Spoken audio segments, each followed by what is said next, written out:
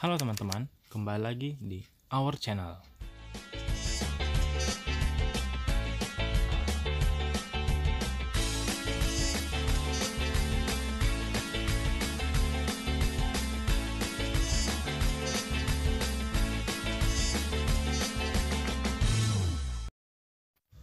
Kali ini saya akan membahas identifikasi angka-angka dan huruf-huruf yang ada di kontainer.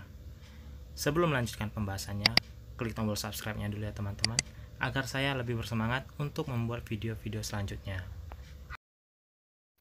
Oke, langsung saja kita ke pembahasannya. Pasti teman-teman pernah melihat angka-angka dan huruf-huruf ini bukan?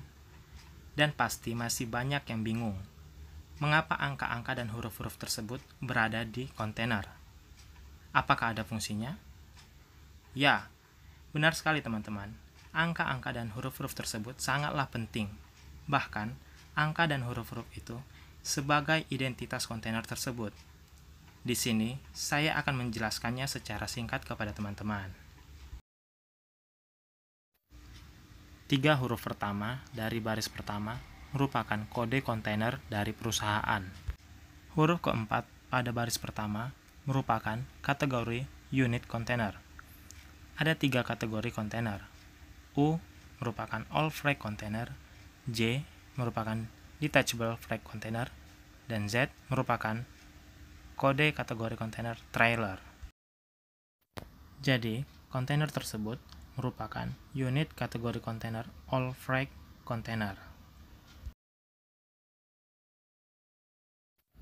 dan 6 angka selanjutnya merupakan nomor seri kontainer tersebut. Jadi, setiap kontainer memiliki nomor seri yang berbeda-beda ya teman-teman.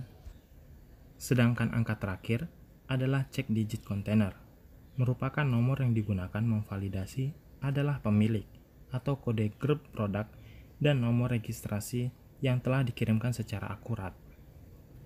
Oh ya teman-teman, cek digit ini tidak sembarang dibuat ya, ada hitung-hitungannya tersendiri. Contohnya seperti ini. Berikut adalah perumusannya.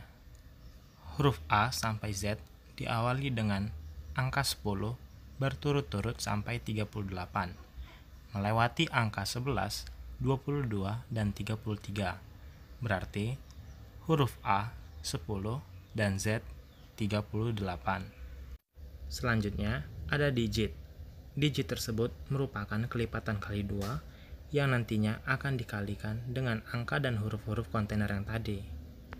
Kemudian, kita memasukkan angka-angka dan huruf kontainer tadi teman-teman, yaitu DRYU 419551.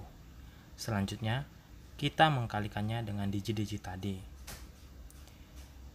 Kemudian, kita jumlahkan semua dari hasil perkarian tersebut. Di sini saya mendapatkan hasilnya yaitu hasil 1 3580.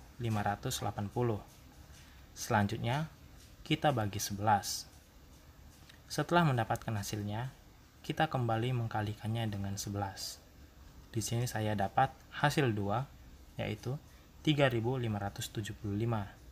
Kemudian kita masukkan rumusnya. Hasil 1 dikurang hasil 2 yaitu 3580 dikurang 3575 sama dengan 5. Nah, begini cara mendapatkan digit kontainer yang tadi teman-teman. Kalian juga bisa mengetesnya apabila teman-teman penasaran ya. Selanjutnya ada 42G1. Angka pertama merupakan ukuran kontainer. Apabila angka 4 menunjukkan 40 feet apabila angka 2 menunjukkan 20 feet. Angka kedua merupakan ukuran kubikasi kontainer. Huruf ketiga menunjukkan jenis kontainer, dan angka keempat menunjukkan bahan kontainer tersebut.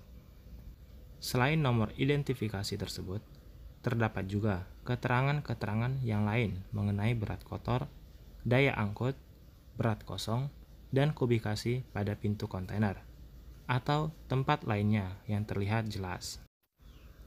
Sekian pembahasan mengenai identifikasi kontainer.